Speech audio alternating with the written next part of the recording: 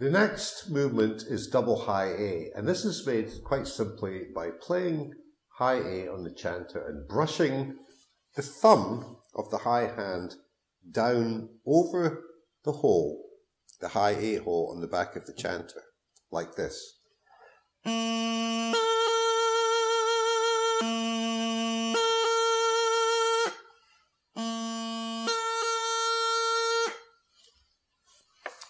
Now we have the second part of the tune Highland Laddie, and it goes as follows.